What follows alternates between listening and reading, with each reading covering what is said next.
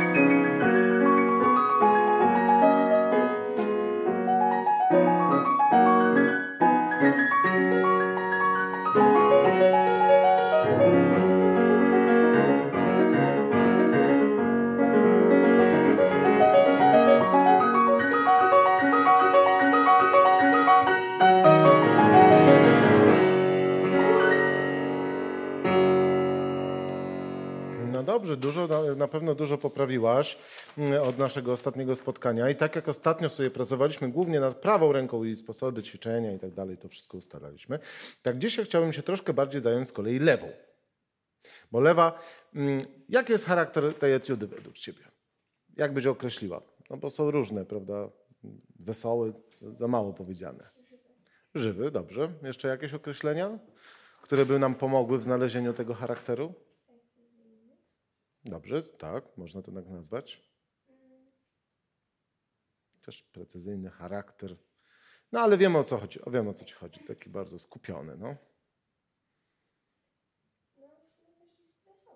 Tak. No, wesoła to jest takie dla mnie określenie e, w zasadzie niczego, bo radosna, bym powiedział, raczej entuzjastyczna, optymistyczna. E, Mało ma w sobie takiego dramatu lub jakiegoś cię- ciężaru ko- kolorystycznego, tylko jest raczej po prostu jasna, przejrzysta, radosna w ten sposób. No właśnie.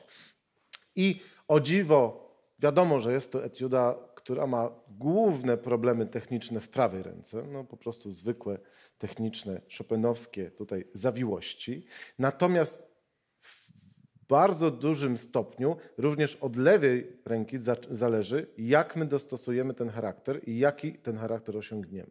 Bo jeśli lewa będzie grała za ciężko, za tak e, bym powiedział, za długo artykulacyjnie te swoje wstawki, to sprawi, że ta etiuda się zrobi po prostu ciężka. A ona ma być leciutka, przejrzysta i zwiewna, prawda?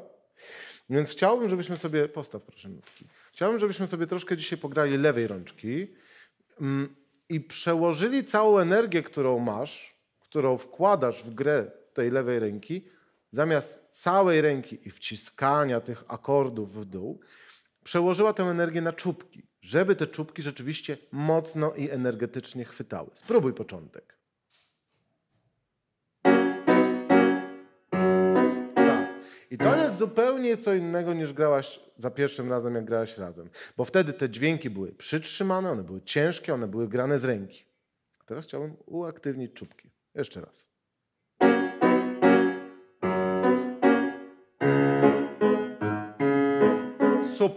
A do tego wszystkiego, jak już zmieniamy te artykulacje, chciałbym, żebyśmy również troszkę pofrazowali.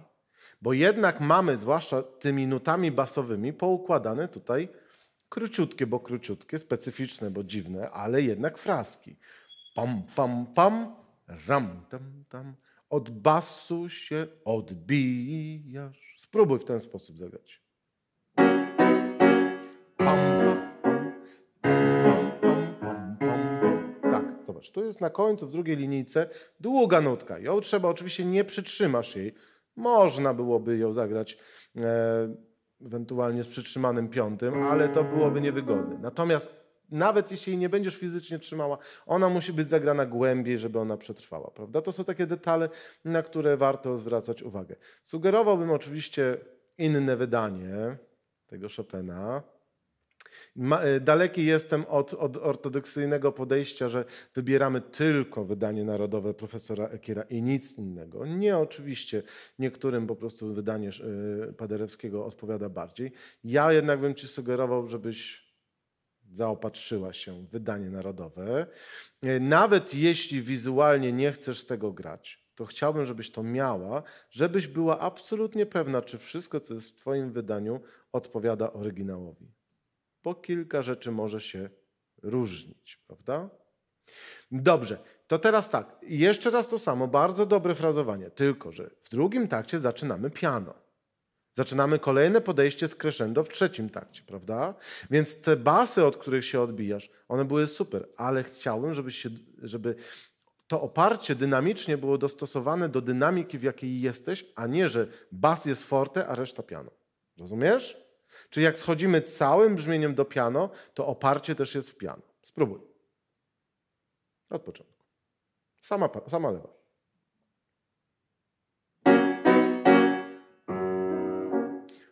Czubki chwytają. A ten długi dźwięk. Tu, tak, tu jest nawet pedał jest napisany w Twoim wydaniu taki, żeby ten dźwięk jednak przytrzymać troszkę. Jeszcze raz.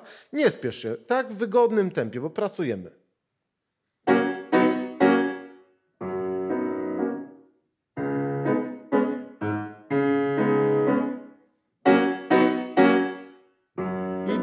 Czubki, aktywne. Tak. Te arpeggia, to jednak bym ci sugerował, puścisz mnie? E, sugerowałbym ci raczej myśleć do kciuka, bo grasz je troszkę od piątego. A ja bym chciał, żeby oparcie było na kciuku. I tu,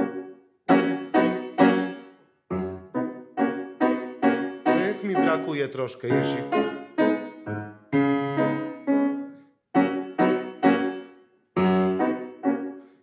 mamy synkopę i kciukiem. Bo grając arpeggio z jakby pierwszą miarą, troszkę rozwala ci się tutaj spójność i, i yy, połączenie tego z prawą ręką. Dobra, jeszcze raz ta lewa. W dobrym kierunku idziemy. Elegancko czubeczki. Trzymaj. Nie szkodzi. Dalej. I tu. No pewnie. Kciuka więcej w arpeggio, same arpeggia. Jeszcze więcej. Tak, bardzo dobrą masz elastyczną łapkę, nadgarstek masz ruchliwy, więc to wykorzystuj. Oprz, oprzyj się na tym kciuku. No jeszcze raz arpeggia.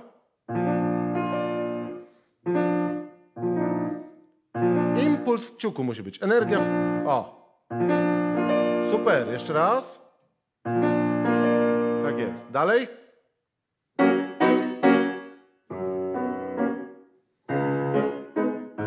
Trzymam. Dobrze. I synkopka. Tiram, param. Łuczki. Co nam sugerują te łuczki, co? No super, małe fraski. A która nutka w tych małych fraskach jest ważniejsza? Pierwsza czy druga? No świetnie, wszystko jest jasne, proste i ten. No to za, zawieź troszkę tę rączkę. Tarampa. Na razie nie musimy grać w tempie. Mi nie chodzi o to, żebyśmy teraz osiągali tempo ten. Ja chciałbym, żebyś miała kontrolę nad tym, co robisz i żeby każda nutka była zagrana tak, jak powinno być. No, od tego miejsca. Tiram. taram, taram, tiram. Tom, pom, pom, tom, pom. Tak, zobacz. Takiej formie, jak będziesz grała lewą rękę, ona nagle robi się wielowymiarowa, bo ona ma już dwa głosy w sobie. I jest czymś ciekawym w kontrze do tego, co się dzieje w prawej. A w prawej się dużo dzieje, więc lewa ręka nie może być zupełnie jednowymiarowa. Prawda? Więc szukamy tego, jak ćwiczysz.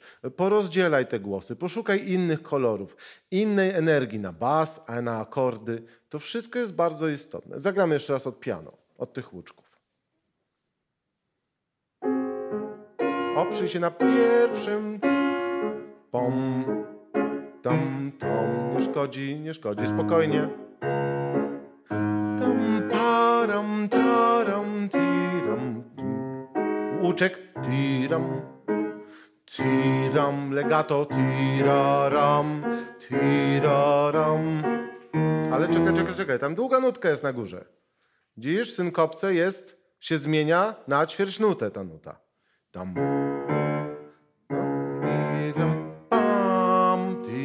Tiram, tam, tiram.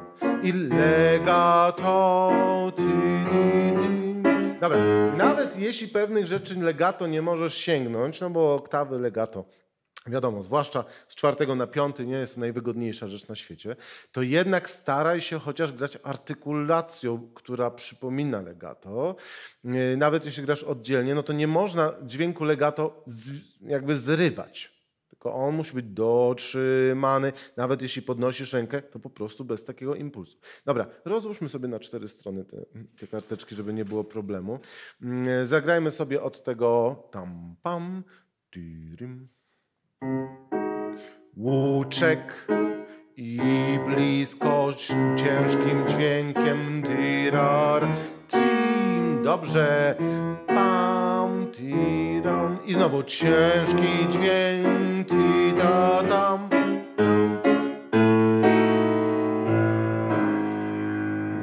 dalej. Tak, wyobraź sobie, że to są, nie wiem, na przykład waltornie w orkiestrze. Pam, pa, pam. To nie może być ani małe, bo tutaj prawa ma ornament. To nie jest nic melodycznego to, co się dzieje w prawej. Ona ma falę do góry i falę do dołu. Natomiast tutaj są waltornie, nie wiem, albo puzony, wyobraź sobie. Pam, pa, pam. Ten rytm musi być odpowiedni.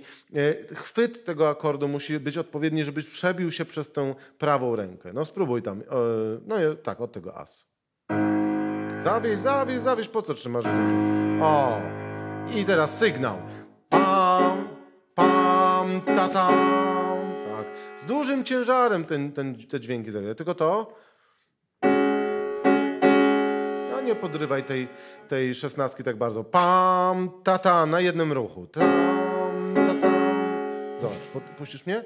Ty grasz troszkę, to tak. Pam, ta, ta. się robi czkawka.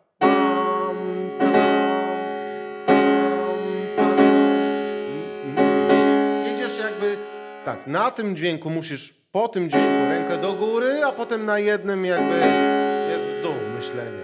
Na tym podwójnym tata myślimy jakby ręka zawieszona w dół. A ty na tej szesnastce wyskakujesz do góry. Lepiej. A teraz pomyśl, że ta półnuta na końcu jest najważniejsza. Pam, ta, tam. Tak, dalej.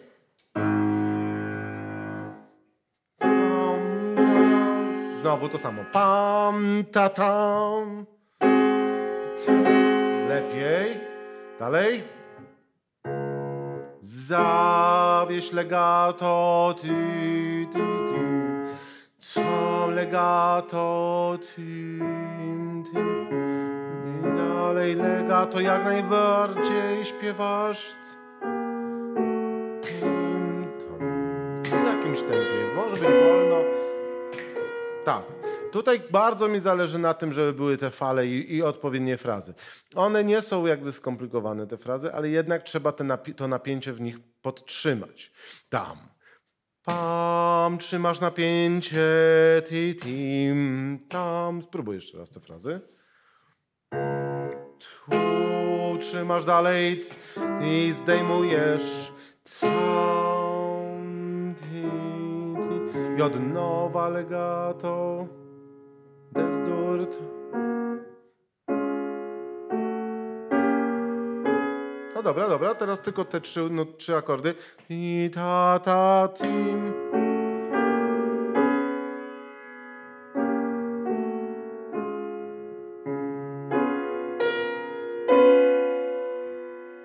Dobra, teraz nie tak nieśmiało, te, bo to jest główna melodia w tym fragmencie. Tirararim, tiraram. Odważniej.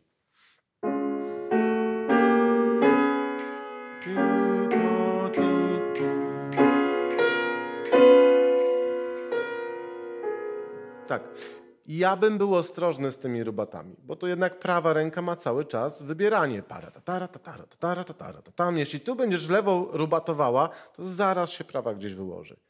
I to zwolnienie na końcu, to ja bym jednak nie robił aż tak wielkiego. To jest mała etiudka, to jest jeszcze wczesne. To jest jakby utwór, to nie jest etiuda wielka Amol, prawda, która jest ogromnym dziełem, tylko jest raczej utworem bardzo zwartym. Nie przesadzałbym z tym zwolnieniem i na pewno, jeśli już, to bym go robił prawą ręką, a nie lewą. Spróbuj jeszcze raz lewą rączkę od tych tam. Sexta. tiririm. Zawieź. Opuść łapkę, puść to wszystko. Tak, o, samo brzmi od razu, za darmo. Zawieź. I crescendo tym,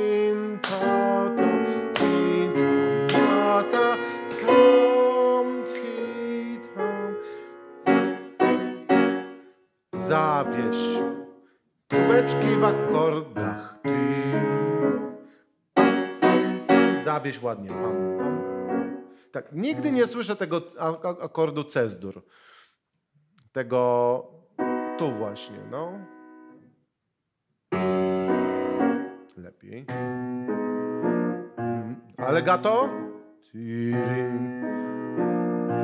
No, ale właśnie, jakbyś, jakbyś frazowała te łuczki tak, jak mówiłaś wcześniej, to one by miały coś ciekawszego w sobie. A na razie się w ten sposób robi tylko to, z tego akompaniament. Mamy tak. Parym, tirim, taram, param, prawda?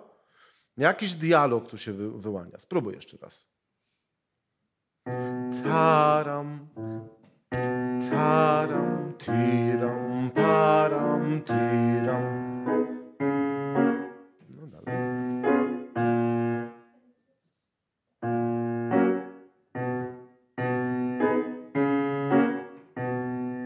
Tak, inny mamy zupełnie oparcie na basie, a inną technikę mamy na akordzie. Na basie musi być lekko z, z ręką, z zawieszeniem ręki, pam, a tu chwyt. Chwyt absolutnie czubeczkowy. No, już ta strona.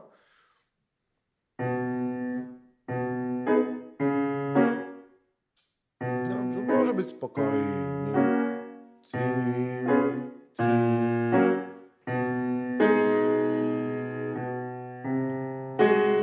Dobrze, ty. No, no, do ćwierćnutki, do ćwierćnutki, to wolniej. I zawieszone. Tira. I zawieź, zawieź. za-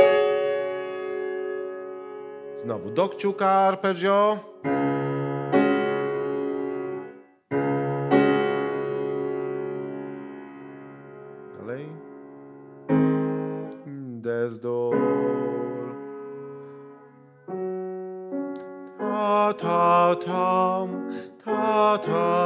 Zawsze śpiewamy Chopina.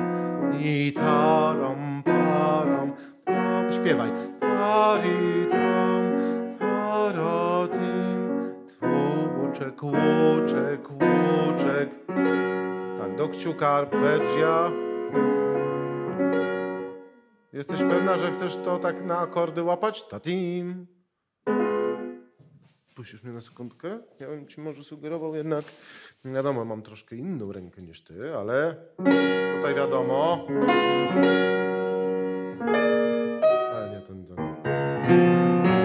Ten akord bym spróbował. No. Masz zwinną rękę, więc mogłabyś sobie robić ten sposób. Jeśli takie łamanie tego arpeggia, arpeggia ci nie pasuje,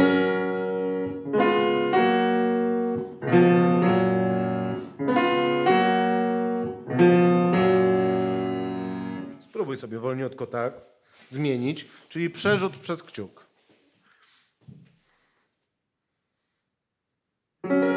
Wolniutko, wolniutko. Tak, ale twoją osią musi być kciuk. Tu to połączenie. No tak, ale to oczywiście sobie przeuczy się, tylko ci rzucam takie, taki temat, żeby nie, niekoniecznie było łamanie, że akord plus to, bo to może brzmieć niekorzystnie w triolowym e, takim e, charakterze prawej rączki. Dobra? Jeszcze raz i dalej pójdziemy. Tak. Tylko tam z ces jest. Ces. Łuczek.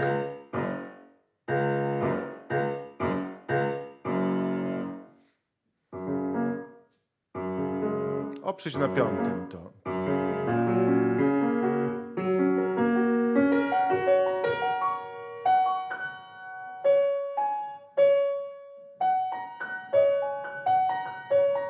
Tak.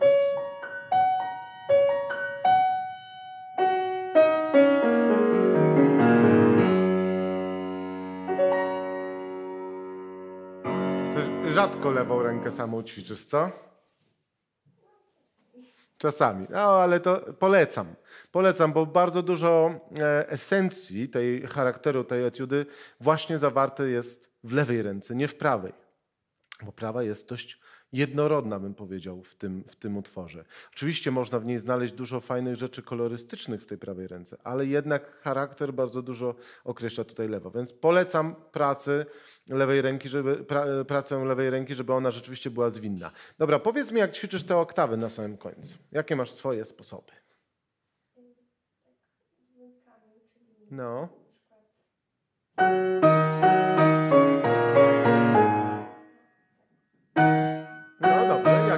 Sposób? A byłabyś w stanie zagrać mi same kciuki w obu rączkach?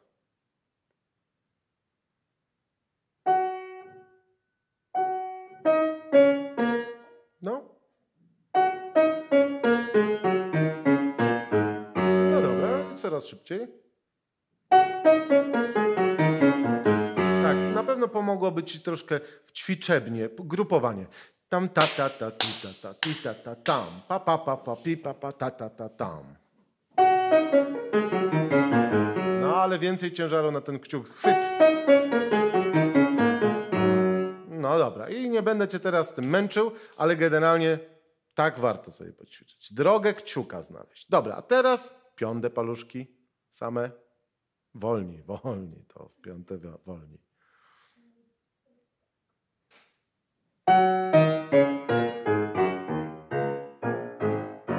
No dobrze, jeszcze raz. Wolniej. Tam, din, ta, tam, ta, tam, ta, tam. Dobrze. No a teraz na przykład kciuk w lewej, piąty w prawej. Czyli górę.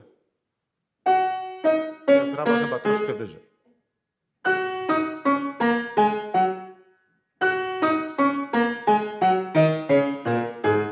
Tak, a teraz piąty w lewej, kciuk w prawej. Tak nie, nie przedłużę tego pierwszego dźwięku, bo on taki, on taki nie będzie, prawda? Więc...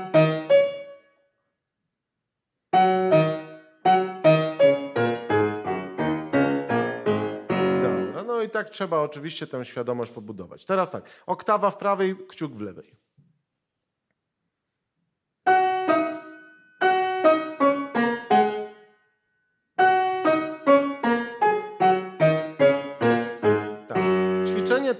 Nie musi być od razu szybkie. Chodzi o to, żebyś w takiej sytuacji miała komfort, czyli od wolnego tempa i sobie coraz bardziej um, podwyższasz to tempo, prawda? Nie, już nie będziemy przechodzić wszystkie, wszystkie możliwe kombinacje, ale rozumiesz o co chodzi, jak to sobie utrudniać. Potem lewa z piątym i tak dalej, i tak dalej.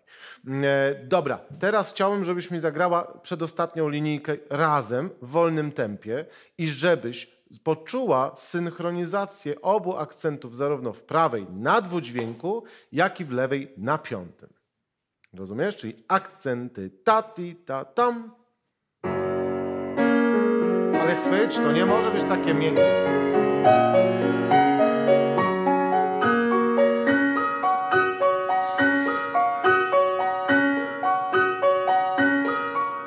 No i dalej nie. Oczywiście, dobra. Sama prawa, ten chwyt piątego palca jest za miękki. On musi być naprawdę stalowy czubek.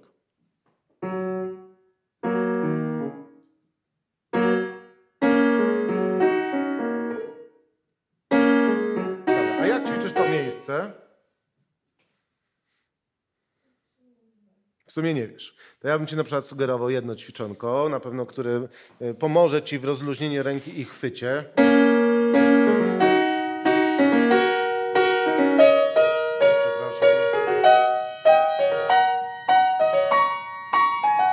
Dwa chwyty i rytm. Dwa chwyty i rytm. Spróbuj w wolniejszym tempie troszkę.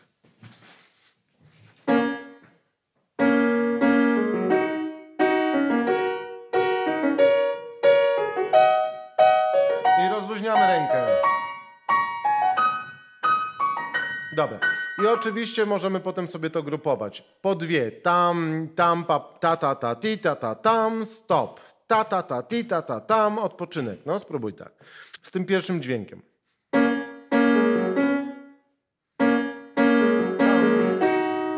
Ta, ta, ta, ta, ta. No na przykład tak.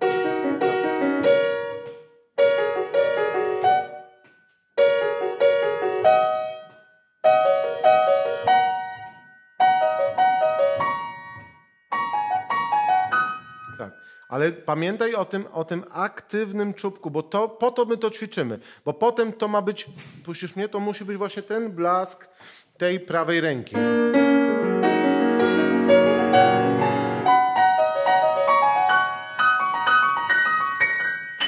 To jest to, czego my szukamy.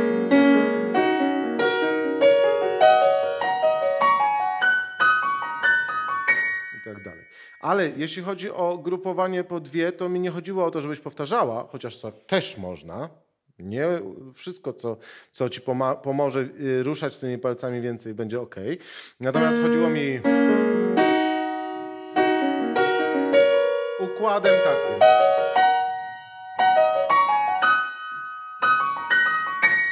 Ten sposób, żeby oczywiście najpierw trzeba poćwiczyć po trójce, potem złączać to w większe grupy, żeby coraz rzadziej tę, ta ręka odpuszczała, a potem już te, ten ruch na ten chwyt, on będzie już naturalnie rozluźniany przez rękę. No. Spróbuj.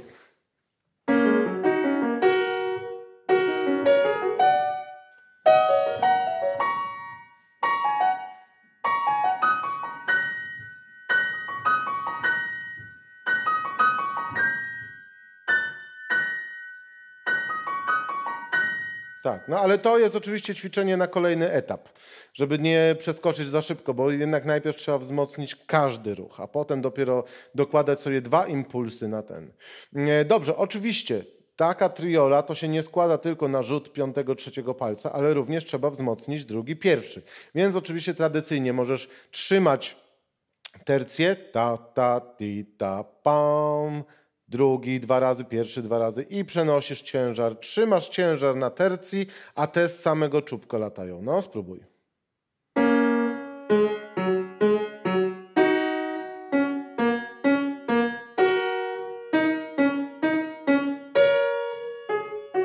Tak, rozluźniamy rękę po tercji.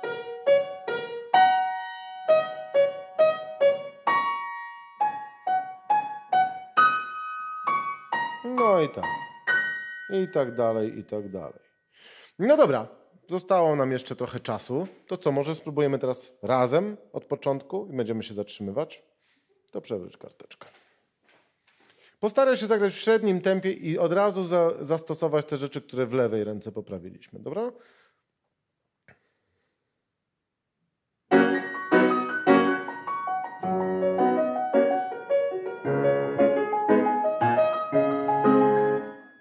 Nie szkodzi.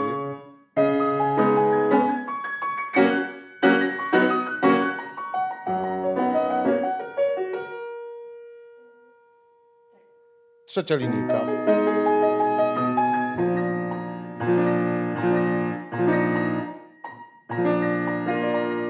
Bardzo dobrze. Dobra, chciałbym, żebyśmy teraz sobie zagrali kilka razy prawą rękę. Oczywiście tam te sposoby ćwiczenia to już o takich pewnych rzeczach rozmawialiśmy. Natomiast chciałbym, żebyś teraz zwróciła uwagę na e, odległość, na jaką ty wyrzucasz palce i skupiła się na tym, żeby prawa ręka rzeczywiście grała bardzo blisko klawiatury. Znowu, przenosimy całą energię naszej pracy, naszej ręki na czubek. Wszystko przybliżamy maksymalnie do klawiatury. Spróbuj. Ta, ta, to, ti, ta, ta, tam. Jak najmniejszy ruch palca, duża, duża praca czubka, mały ruch palca. Każdy, każdy słuchaj, żeby miał energię. I crescendujemy. Nie dociskaj ręką. Wszystko tylko z palca.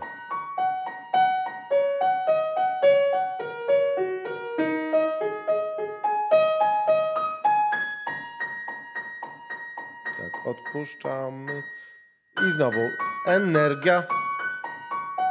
Dobra, i w tym tempie poproszę w taki sposób z lewą. I zobaczymy od razu, jak to będzie brzmiało, bo jak wcześniej grałaś, było za dużo straty energii na ruchu palca i ten dźwięk nie był błyszczący przez to.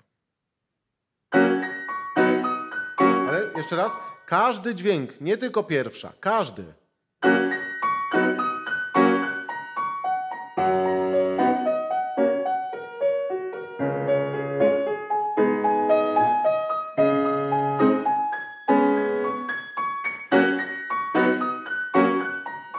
Każdy. Ta ta ta ta ta ta ta ti ta ta.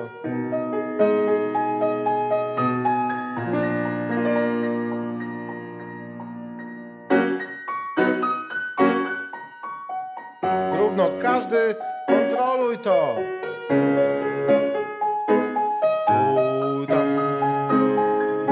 Lewa polifonicznie.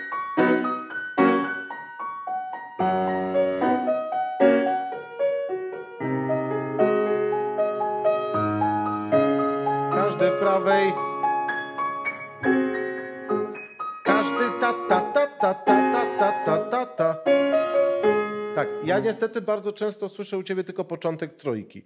I ja rozumiem, że ty chcesz od razu tutaj jakoś to frazować. Niemniej my na razie ćwiczymy. My na razie wzmacniamy każdy palec osobna. I jeśli będziesz ćwiczysz sobie ten schemat osadzania tylko pierwszej nuty strioli, potem te palce nie będą chciały się uaktywnić. A to jednak jest każdy ważny w tym, w tym motywie. To nie jest e, jakiś nie wiadomo jak taneczny rytm, tylko to jest etiuda, która ma błyszczeć, ma się kręcić, ale na każdym palcu. Więc zwróć na to uwagę. Teraz ćwiczymy. Oczywiście trzeba pamiętać o energii piano, energii forte, robienia, robienia crescendów, crescend, i przepraszam, i tak dalej, i tak dalej. To jest wszystko ważne, bo to też od razu trzeba dostosować do tego rękę. Ale jednak technicznie każdy dźwięk musi być zagrany. Spróbuję tego piano na drugiej stronie.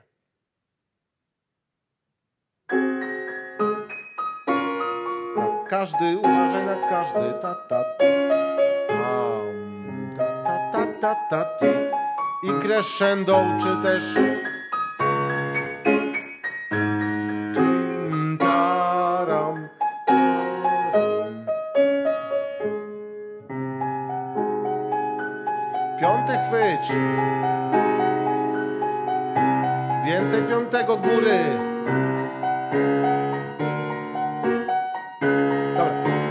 tutaj, wiesz, krzyczę o tym, żeby piąty ch- chwycić, bo on jest, puścisz mnie proszę, on jest dość istotny w tym wszystkim. On musi zabłyszczeć. Wiesz, ten rejestr jest niestety trochę na fortepianie upośledzony. Wiesz z jakiego powodu? Krótkie struny, słabo brzmiące, cieniutkie. W porównaniu do tego, gdzie gra lewa w tym rejestrze, to ona nie ma żadnych szans, żeby cokolwiek z tego, z tego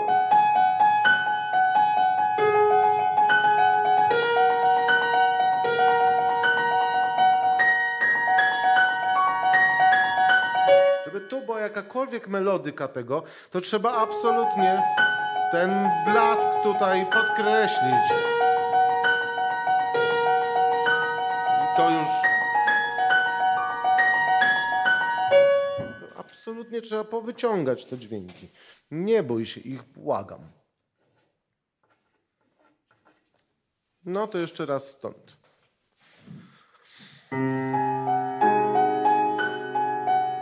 Więcej aktywności. Chwyć go! Pach!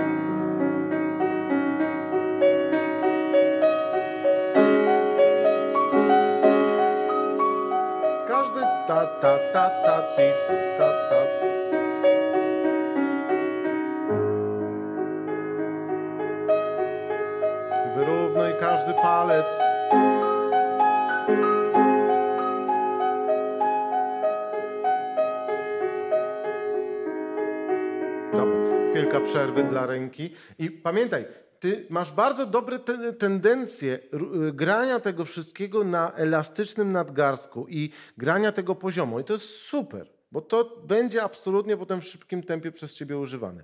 Ale żeby móc grać w szybkim tempie i selektywnie, i równo, i każdy problem techniczny z tej etiudy, to ty musisz po prostu najpierw przejść ścieżkę zdrowia, siłownie i wzmocnić każdy palec i wyrównać go.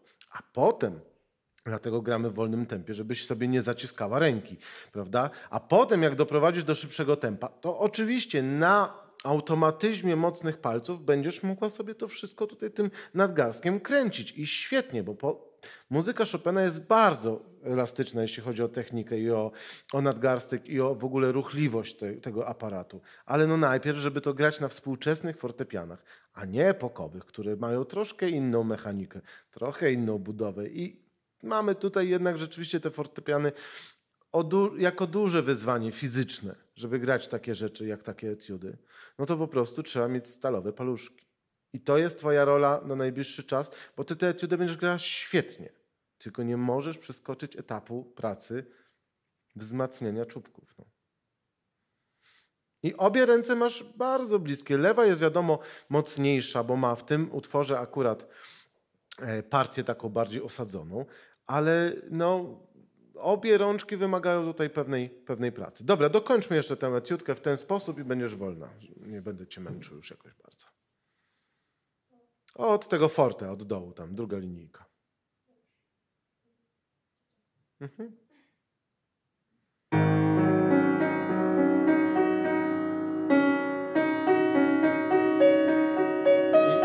Ramiona.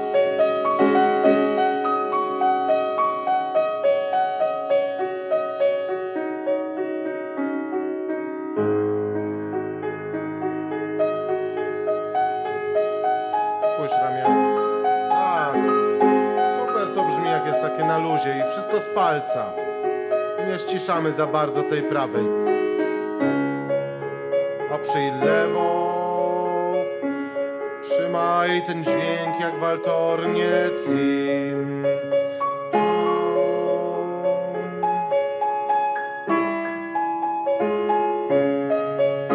Lewa legato.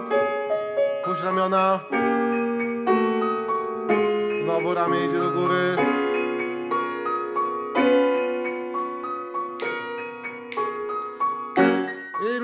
Dokładnie, wszystko z czubka. Impuls palca w prawej ręce. Zaokrąglone palce nie na płasko.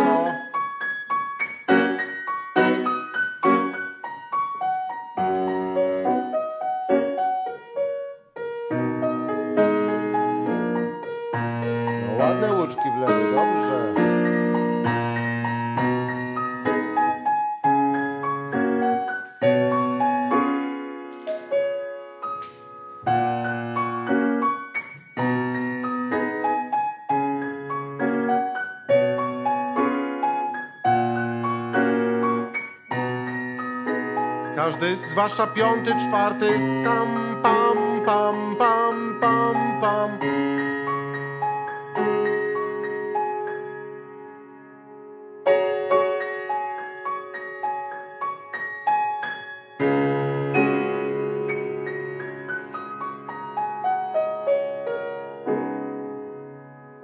Tak, i dalej. Każdy palec im ta, ta, ta, ta. Na razie nie ma żadnego tutaj dolcza ani ni tego, niczego. Budujemy moc. No. I puść ramiona. Ta, ta, ta, ta. ta, ta. Impuls każdego palca. A lewa się opiera.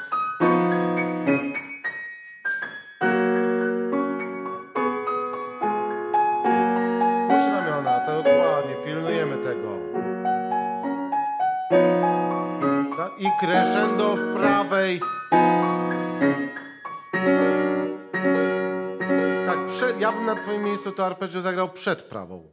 Że kciuk, o właśnie. Tak. Każdy palec z impulsem. To się przeuczysz dalej na razie.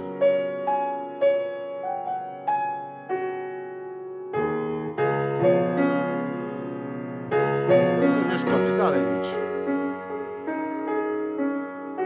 Nie szkodzi, nie szkodzi. To sobie ominiesz, bo to zmienialiśmy palcowanie, to naturalnie. Następna linijka. I chwyt, chwyt, chwyt.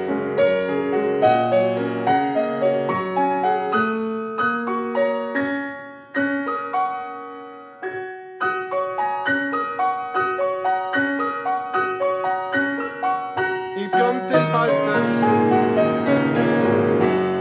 Dalej energia, energia do końca. No dobra. Jakieś pytania?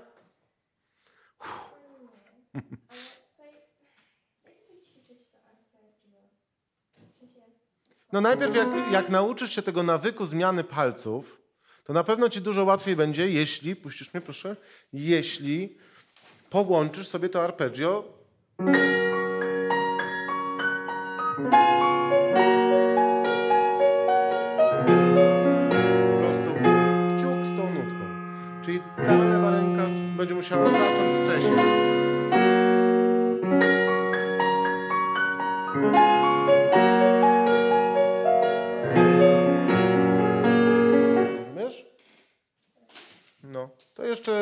popracujemy sobie nad tym e, na sam koniec może, jak będziesz miała. Spróbuj zmienić te palce i za dwa dni w niedzielę sobie spróbujemy to. Zobaczymy, jak te arpeggio będą się grało. Dobra, dziękuję bardzo.